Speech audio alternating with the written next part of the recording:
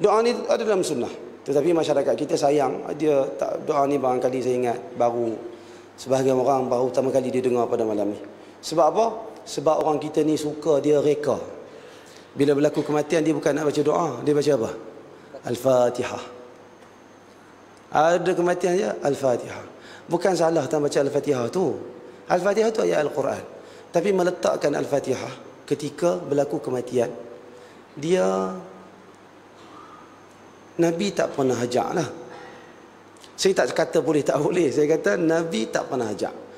Bila kita buat, sedangkan Nabi telah ajarkan kita doa yang begitu penting. Doa yang kita baca tadi. Ya Allah, yang bermaksud lebih kurang. Ya Allah, berilah keampunan kepada Abu Salamah. Yang meninggal itu Abu Salamah. Nama dia.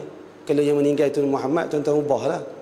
Allahumma firli Muhammad. Jangan duk orang meninggal itu Muhammad, kita duk baca Abu Salamah juga terkejut keluarga orang tu. Hai, siapa pula? Ayah kami nama Muhammad tiba-tiba boh nama Abu Salamah pula. Jadi tukar nama ikut-ikut nama yang meninggal. Bila keampunan kepada uh, fulan tinggikan kedudukan dia sehingga dia bersama dengan orang-orang yang mendapat hidayah. Itu ungkapan yang penting dalam doa ni.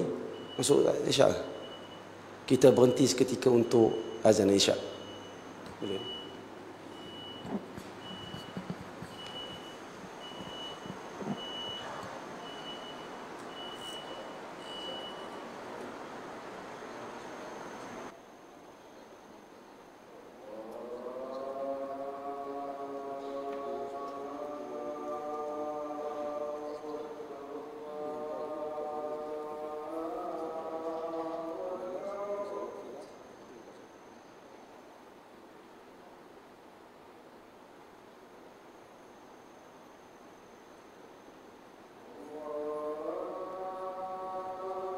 Selepas pemergian dia untuk orang-orang yang dia tinggalkan.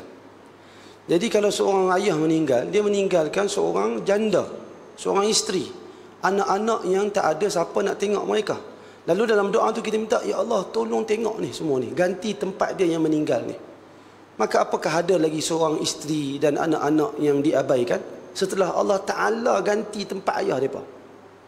Tak ada, tak akan ada di, diabaikan. Kerana Allah Ta'ala yang kita minta supaya ganti tempat dia. Bukan seorang baca tuan-tuan, setiap orang pergi uh, ziarah jenazah tu dia akan baca doa ni. Betapa berharganya, betapa indahnya sunnah yang Nabi ajarkan kepada kita. Tetapi kita tak amalkan kenapa? Kerana kita dok mereka. Al-Fatihah. Kadang-kadang Al-Fatihah tu tak baca pun. Kadang-kadang dia baca pun dia tak tahu niat apa. Tuan-tuan hari ni ada kematian uh, apa ni? Uh, marilah kita membaca surah Al-Fatihah. Al-Fatihah.